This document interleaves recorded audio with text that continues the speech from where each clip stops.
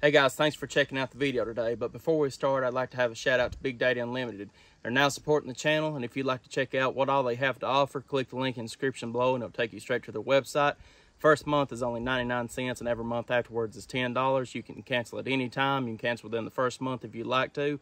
But like I said, if you'd like to support us and get some interesting stuff while you're at it, check out Big Daddy Unlimited. Let's get on with the video.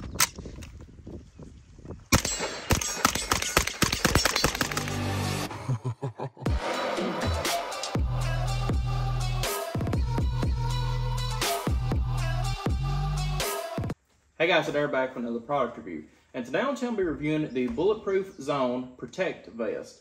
This is a pretty slim line uh, bulletproof vest that uh, Bulletproof Zone has actually come out with uh, recently. They're sold out all over their website, but they'll be getting in more soon. So if y'all are interested in this, just wait and you should be able to pick one up for too long. But this is this is more for the men, um, minimalist, I guess is the easiest way to put it, because this is mainly meant for something that you can wear inside your shirt or even outside if need be, but it can pack what you need it to and it doesn't have any unnecessary stuff that you really don't need unless you're going into a certain type of combat zone. Uh, as you see here, one of the most uh, simplest designs I've seen that actually work though for a bulletproof vest. As you see here, you have your adjustable straps for your shoulders, depending on your height and everything else. And here on the side, you have these elastic bands that all you have to do is strap over on front whenever you put this on. And there you go. It is ready to be worn. Or if you have it on you, it's already on you. That being said, um, very interesting design overall. You take as simple as you could of a uh, bulletproof vest, and that's what they've come up with. Simple sometimes is better than having all the gadgets and gadgets and all that on it. Uh, what this to me would fit the best is your person, your businessman that might have a long walk to work that's in somewhat of a dangerous area, such as some parts of Chicago, New York. If body armor is allowed there, I'm not sure. I'm from Kentucky, which it's legal here. And um, your businessman or somebody that wants to dress casual, dress normal, but not have it shown that he's got body armor on. Not only that, but this can be placed in a house or in a vehicle or something like that. And if something breaks out and something happens and you need body armor, very simple to throw on and very fast in under 10 seconds is what they have on their website. And I tested out myself and you can get it on in less than 10 seconds. Like I said, all you have to do is throw it over as such. It doesn't hang back here take, you take your left strap, tie it on, and your right strap, throw it on, and there you go. I'm a little bit of a heavier guy, and it fits me pretty well, as you can see. Just a little bit of fat pushing out on these sides. But overall, though, it will fit. Um, one thing, though, I do say that I kind of wish they would have done a little bit different is for heavier people like me or bigger people, depending on how you want to say it. I wish that here on the back they would have uh, made it to where these back straps can be adjustable instead of just putting this and sewing this on to where it's just pretty much one length, which that's what really this elastic is made for. But once you get it so tight, if you are a heavier person like I am, uh, it kind of pushes everything else that you have out. But it still does do its job, don't get me wrong.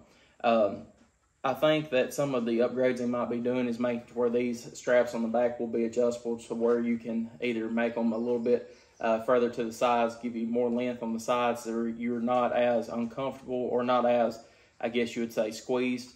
Uh, that's one thing I would recommend them possibly doing. The top here is perfect. I mean, I don't really see anything that they need to change on this. Uh, I've got it on the uh, same place that it was from the actual uh, factory and it fits me fine and I'm 6'2", uh, about 260 pounds. So uh, the top straps are fine, they are adjustable, but the only thing, like I said, that I think that they could have changed to make it a little bit better is make it to where these straps here can be adjusted on the back. So if you don't want it as tight on you or if you'd like it tighter. You have here as well uh, two plates inside of this already from factory that are level 3A.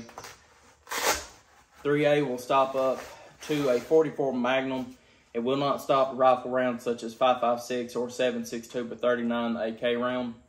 You have a front and back strike zone, um, 10 by 12 uh, specification, uh, level 3A. This date of manufacturing on this one was 223 of 2022, and it has a five year warranty on it. So this is good for five years. Once that five years up, uh, take it and throw it either in another plate that you have that you already have uh, newer material in, or just throw it away. But most of the time, as long as you have um, have kept uh, your Kevlar in pretty good shape and not sweated too much into it, it will last longer than the five year period, but it will last uh, for sure two five years.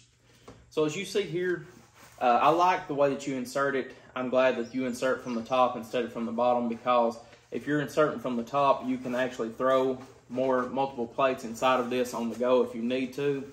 As you see here, all it does is insert straight into it, push it all the way down, and there you go. Uh, this is the standard for a 10-12, So if you would like to say throw a level three plate, steel or ceramic, it will fit in here. All you have to do is take it, push it in, and there you go. You have a steel plate in front and Kevlar in back to help cushion some of that shot if you get shot with, say, a rifle. But I like the simplicity of that. I'm not much, like I said, on the under uh, loading in. Uh, I do like the upwards to where you can actually throw one in, like I said, on the go. But very simple. Take it and pull it out. That's one of the plates that we actually torture test from RTS Tactical.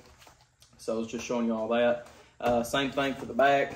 If you'd like to load one in the back, there you go. Pull it out. And there's your strike face for the back. So guys, I mean, very, very good uh, quality overall. You have a nylon type of uh, uh, build here with elastic bands on the side. Uh, everything you see here is high quality. I haven't seen a single piece of this uh, plate carrier or bulletproof vest as you would say, um, anywhere that says that it isn't high quality. Um, I mean, like I said, I, I reviewed a bunch now, and I have seen some quality issues between each and other company, some worse than others, some that's not as bad, but this is one that I would highly recommend. Uh, hopefully they will be coming out with different sizes soon though, because this is a 10-12, and where I'm a bigger guy, it covers most of my vital areas, but some uh, areas are still exposed. So I most of the time go up to a bigger plate than the 10, 12. But, uh, you know, if you're a smaller person or average size man, which is what the 1012 was designed for, somebody, I think, five nine in the United States is average size, it will cover all your vital organs. Uh, so that's what it's intended to do. But overall, though, guys, very high quality, and I really do like everything about it besides just where it isn't adjustable any further than that. It will still fit me, but uh, kind of looks like I've got a girdle on, if that makes sense to you all. Just trying to be as, uh, as you know, honest as possible because I do like this a lot. I just kind of wish it was adjustable to where it was a little bit uh, better fitting for me. But I understand everybody isn't overweight and isn't as big as I am, but that's something that they could take into consideration whenever they put out more models of these. But as you see though, guys, you get two level 3A plates, which is decent amount of money nowadays for $299. I think it's a good deal, especially with how simple this design is and how well built it is. Um, and overall though, guys, this this is more meant, in my mind anyway, for like a businessman that does a little bit of walking every day to work, uh, somebody that's in a high crime area that wants to protect herself.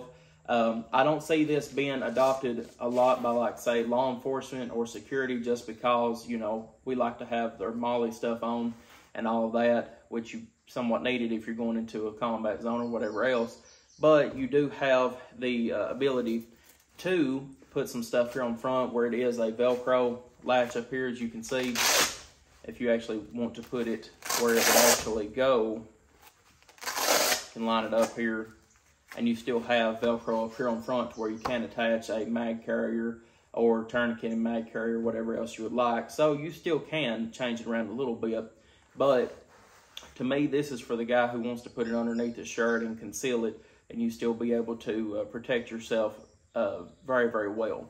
Uh, most law enforcement nowadays only carries level two plates, uh, soft Kevlar, which will only stop up to about a 357 Magnum. Uh, I don't even think that level two will even stop a uh, 44 Magnum. I'm about for certain level 3A is the first one that you get to that will stop a 44 Magnum. But soft armor, either way it goes, would be a great uh, is is great for this type of setup. But if you want to say throw a level three plate in it, you easily can, which I like about it. Uh, this is something as well that if you'd like to throw in the back of a car or whatever else, or have it behind the seat of your car, you can have this and it doesn't take up much room as you can see here how thin it is. And it's very, very light. Uh, that's one of the biggest places I've actually missed in this review to talk about is how light it is. Um, to me, possibly two pounds, if that. I mean, it feels pretty much like, I mean, whenever I did have it on, you couldn't even tell it was on whenever it comes to weight.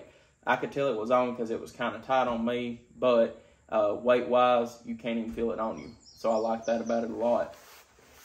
But overall, though, guys, I highly recommend it. I like it, and I hope that the next ones I come out with is a tad bit adjustable on the back to where it will fit me a little bit better. Because this is something myself that I would throw in a vehicle and just kind of forget about having until I actually needed it. So, guys, let me know in the comment section below what you think about it. Like I said, I I really do like this a lot, and I think that uh, you all will as well if this is something that you'd be interested in. So thank y'all for viewing, like, and subscribe for more gun reviews, and I'll see y'all in the next video.